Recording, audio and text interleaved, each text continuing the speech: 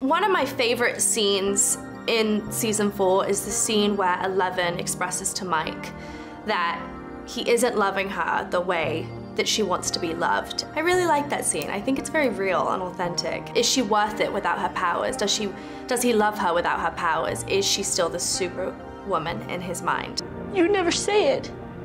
I say it. You can't even write it, Mike. I think it shows a real true girl dealing with her insecurities. I, I really enjoyed that.